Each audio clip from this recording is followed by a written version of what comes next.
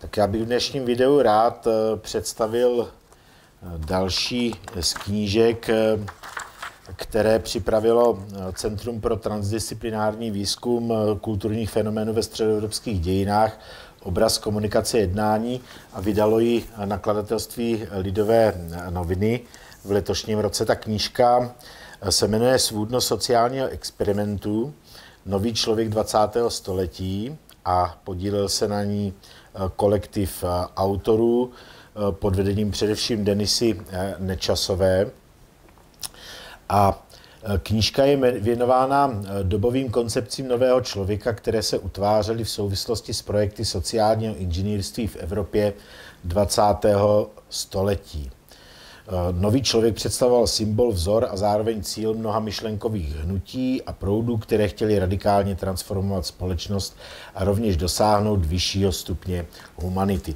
Eh, tolik eh, krátké představení knihy přímo z její obálky. Knížka obsahuje dohromady asi 15 kapitol, které se věnují právě různým představám nového člověka eh, ve 20. století v různých zemích, eh, v různých obdobích 20. století a eh, prezentují je, prezentují je také pomocí různých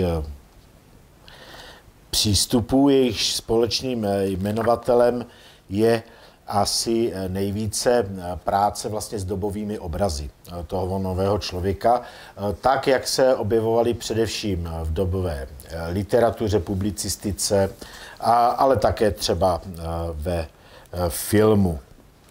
Jsou zde ovšem i kapitoly, které přistupují, přistupují k problematice i prostřednictvím analýzy pramenů eh, nepublikovaných. A eh, ta knížka, eh, ta knížka je zajímavá samozřejmě tím, že přináší srovnání různých pojetí nového člověka.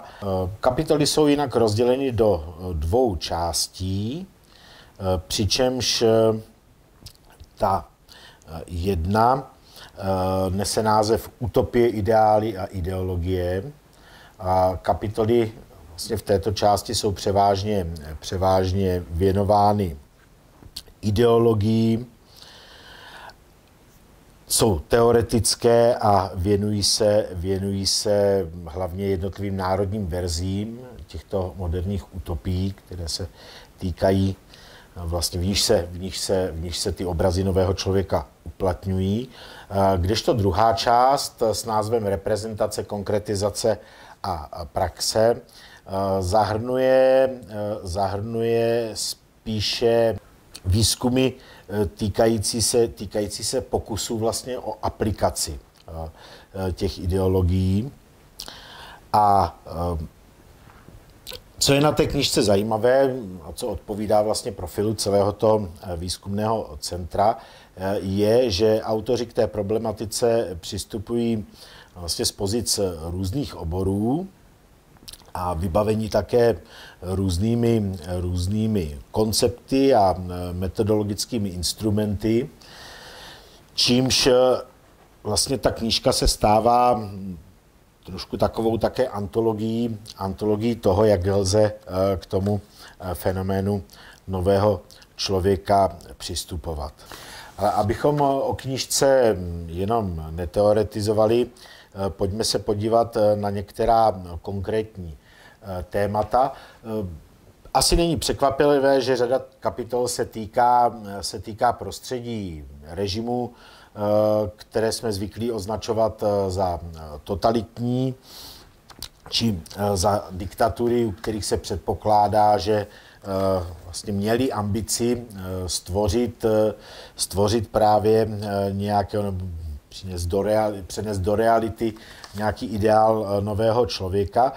Proto nepřekvapí, že se tady objevují, objevují kapitoly, které se týkají, které se týkají Sovětského svazu nebo komunistického prostředí obecně, prostředí německého národního socialismu, ale jsou tady také příspěvky týkají se prostředí fašistického v Itálii.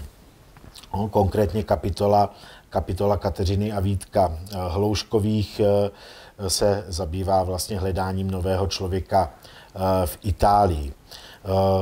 Pokud je o ten komunistický svět, tak kromě československých příkladů otázkou vlastně šlechtění nacionálně socialistického člověka v Německu se zabývá například Jiří Němec, Michála Pešková vlastně v první kapitole se zabývá sovětskou verzí nového člověka v dlouhodobější perspektivě. Pokud jde o konkrétní, konkrétní praxi, konkrétní aplikace eh, či reprezentace těch obrazů nového člověka, eh, jsou zde například eh, texty Jaroslava Cuhry, který se zabývá, zabývá vlastně přenosem ideologie do praxe v takzvaných ústředních dělnických školách v poúnorovém, v poúnorovém Československu, které měly vlastně stvořit novou inteligenci.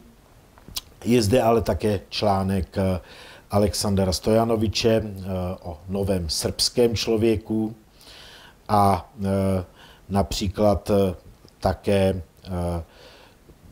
kapitola Zdeňka Nebřenského, která se zabývá novým člověkem v souvislosti se sexuální výchovou a jejím postavením vlastně v prostředí středoevropského eh, stalinismu. To je jenom, abychom reprezentovali eh, pestrost eh, těch témat.